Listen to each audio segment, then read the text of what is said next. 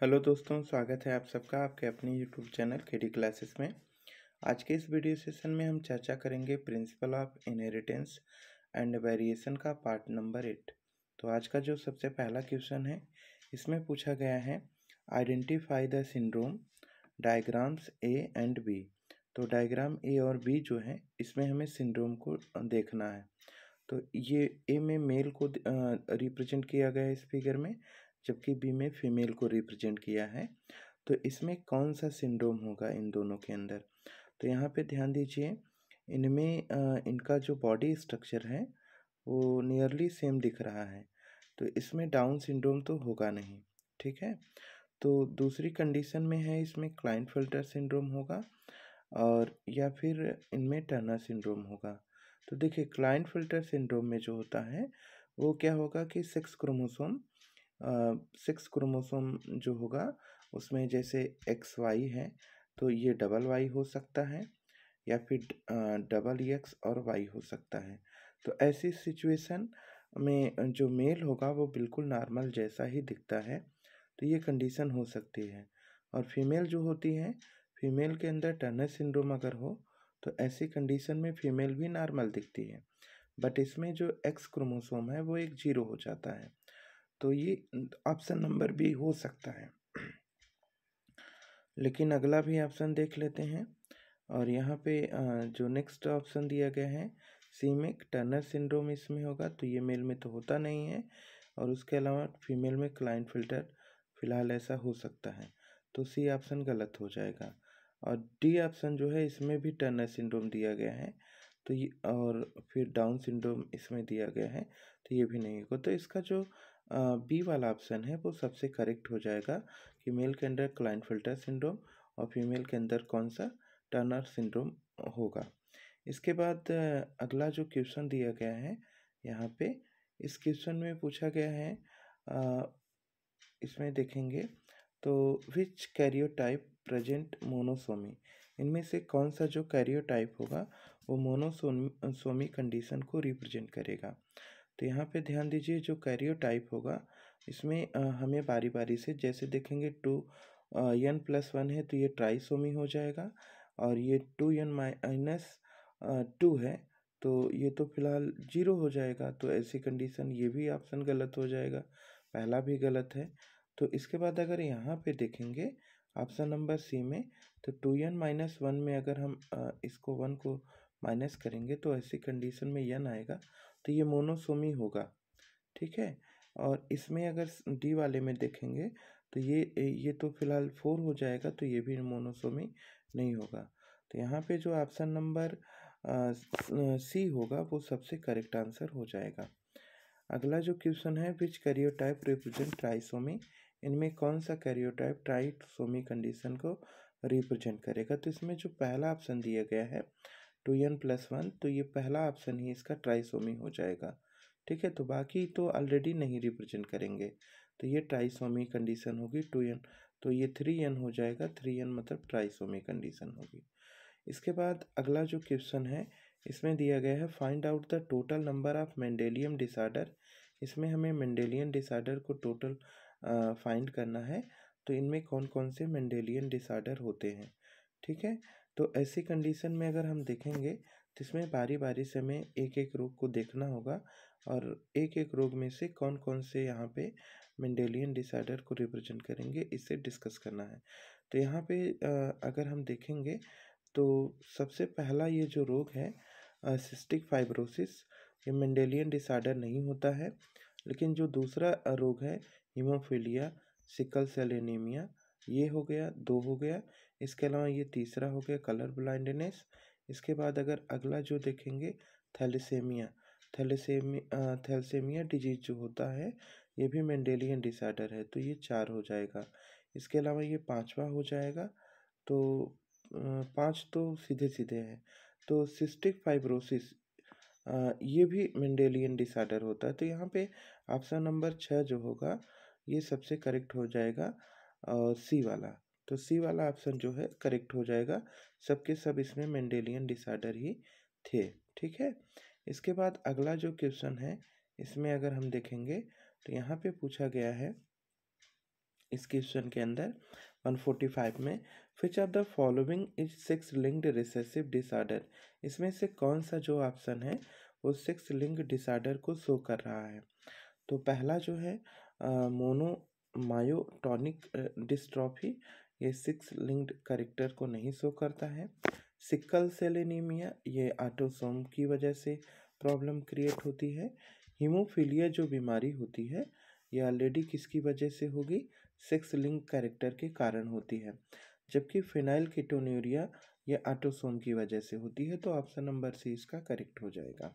इसके बाद अगला जो क्वेश्चन है, वन फोर्टी सिक्स, इसमें दिया गया है, which of the following is an autosomal dominant trait? इसमें से कौन सा आटोसोमल डोमिनेंट ट्रेट है? तो इसमें जो पहला ऑप्शन दिया गया है, phenylketonuria autosomal dominant trait है।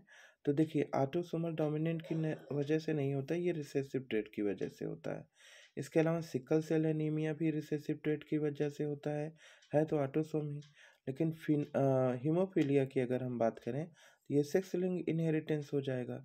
तो मायाटोनिक डिस्ट्रॉफी जो होगा ऑप्शन नंबर डी ये सबसे इसका करेक्ट आंसर हो जाएगा।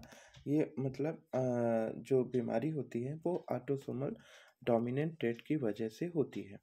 इसके अलावा अगला जो रोग है इसमें दिया गया है Queen Victoria was carried of which disease जो क्वीन बैक्टीरिया थी विक्टोरिया थी, उन्होंने उनमें कौन सी डिज़ीज़ या प्रॉब्लम दिखी थी? तो विक्टोरिया के अंदर जनरली हीमोफीलिया दिखी थी। तो यहाँ पे ऑप्शन नंबर सी जो है, वो सबसे करेक्ट आंसर इसका हो जाएगा।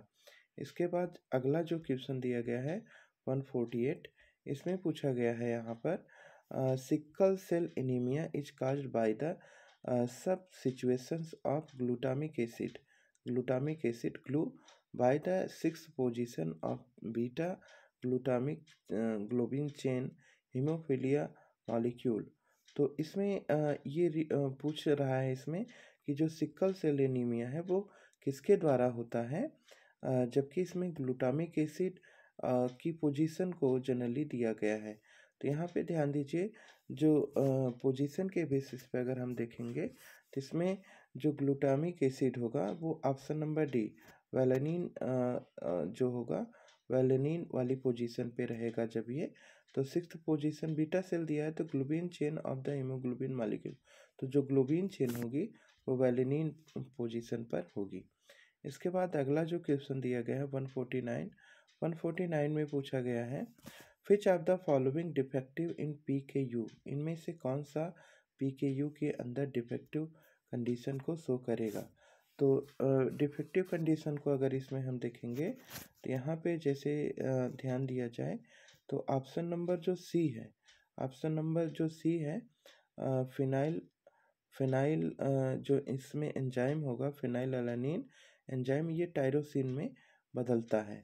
तो ऐसी जो कंडीशन होती है, इसमें फेनिल केटोन्यूरिया होता है। ठीक है? फेनिल केटोन्यूरिया होता है तो इसमें एंजाइम सी जो होगा ऑप्शन ये सबसे करेक्ट मैच करेगा। तो इसमें सी वाला जो है, वो करेक्ट मैच होगा। इसके अलावा अगला जो क्वेश्चन दिया गया है 150 150 में पूछा गया है which of the following is true about phenylketonuria? इसमें से कौन सा करेक्ट है फिनाइल कीटोन्यूरिया के संबंध में? तो फिनाइल कीटोन्यूरिया के संबंध में अगर हम देखेंगे तो इसमें जो करेक्ट आंसर हो जाएगा, इसका वो option number option number D होगा। इसकी वजह क्या है? क्योंकि इसमें मेंटल रिटार्डेशन भी होता है। फिनाइल कीटोन्यूरिया के अंदर जो प्रॉब्लम है, उसके अंदर देखा जाए तो इसमें मेंटल रिटार्डेशन भी देखने को मिलता है। इसके अलावा एक of phenyl and pyruvic acid phenyl pyruvic acid derivatives ये भी इसमें कंडीशन होती है। ऑटोसोमल रिसेसिव ट्रेट भी होते हैं और उसके अलावा तो इस हिसाब से इसका ऑप्शन नंबर जो डी है, वो सबसे करेक्ट आंसर हो जाएगा। इसके बाद अगला जो 151 में है क्वेश्चन इसमें दिया गया है यहाँ पर the sub substitutions of amino acid in globin protein results due to the single base single base single base sub substitutions, single base substitutions, the, at the sixth codons of beta globins gene तो इसमें beta globin genes पे codon पूछा गया है। तो codon इस पे क्या हो जाएगा? तो यहाँ पे ध्यान दीजिए कोडान इसका जो होगा, वो होगा G A G and G U G codon होगा। तो जी ए जी और जी ए जी यू जी जो कोडान होता है, वो इस बीटा ग्लोबिन जो अगला क्वेश्चन इसमें दिया गया है। Which of the following amino acid is not present in first six amino acid affected by beta chain of haemoglobin तो इसमें कौन सा जो अमीनो एसिड है, वो अफेक्टेड नहीं होगा बीटा चेन के बीटा चेन के अंदर। तो इसमें जो अमीनो एसिड ग्लूटामिक एसिड होती है जी एल यू जो दिया गया है शार्ट फॉर्म इसका ग्लूटामिक एसिड। ये ऑप्शन इसका करेक्ट हो जाएगा। ये जो अमीनो एसिड है वो beta chain haemoglobin which of the amino acid is not present तो ग्लूटामिक एसिड नहीं प्रेजेंट होती है। अगला जो क्वेश्चन है identify A B and C in diagram इसमें जो डायग्राम दिया गया है इसमें ए बी सी को हमें आइडेंटिफाई कर, करना है। तो इसमें जो ए है तो ये नॉर्मल हीमोग्लोबिन ए है जीन है ये जी ए जी को रिप्रेजेंट कर रहा है बी इसमें दिया गया है एम आर एन ए को रिप्रेजेंट कर रहा है और जो सी है यहाँ पे ये ऑलरेडी पोजीशन नंबर सिक्स पे सी दिया गया है ये सब किसको रिप्रेजेंट कर रहे हैं? तो यहाँ पे हमें कंसीडर करने तो इसमें आ, अगर हम देखेंगे तो यहाँ पे प्रॉपरली दिया गया है जैसे ये बैलिन है हिस्टिडीन है ल्यूसिन है ट्रिप्टोफैन है, इसके अलावा प्रोलीन है ग्लूटामिक एसिड है। तो सी वाली पोजीशन पे कौन सा अमीनो एसिड होगा? तो सी वाली पोजीशन पे यहाँ पे अगर हम देखेंगे तो यहाँ पे amino acid gluta glutamic acid हो जाएगा, ठीक है? तो ग्लूटामिक एसिड देखें किस वाले ऑप्शन में मैच कर रहा है? तो यहाँ पे अगर हम देखेंगे तो इसमें जो ऑप्शन नंबर ए है इसमें ऑलरेडी सी पोजीशन पे ग्लूटामिक एसिड है तो ये करेक्ट हो जाएगा। बाकी में बाकी में नहीं है। तो ठीक है तो इसका ऑप्शन नंबर ए सबसे करेक्ट आंसर हो जाएगा। इसके बाद अगला जो क्वेश्चन दिया गया है, इसमें पूछा गया identify A B and C इसमें भी हमें ए बी सी को आइडेंटिफाई करना है। सेम उसी तरह का फिगर है। तो इसमें वही प्रॉपरली देखेंगे सी किसको रिप्रेजेंट करेगा। तो इसमें पहला ऑप्शन जो दिया गया है, इसमें जो पहला ऑप्शन दिया गया है, इसके अंदर देखेंगे तो वैलिन है हिस्टेडीन है लिसिन है ट्रिप्टोफैन है प्रोलिन है और यहाँ पे ग्लूटामिक एसिड को दिया गया है। तो ग्लूटामिक एसिड है इसमें पहले से। तो ऐसी कंडीशन में इसका जो ऑप्शन नंबर सी होगा, वो रिप्रेजेंट करेगा वैलिन को। तो वैलिन देखते हैं किसमें है। तो वैलिन यहाँ पे ए में सी पे नहीं है। इसमें भी नहीं है, इसमें भी नहीं है। बी वाले ऑप्शन में है तो इसका ऑप्शन नंबर जो बी होगा, वो सबसे करेक्ट मैच करेगा। इसके अलावा नेक्स्ट जो क्वेश्चन है, वन फिफ्टी फाइव है, इसमें पूछा गया है, name, the amino acid which has its two molecule present at in same first seven amino acid of beta chain of haemoglobin.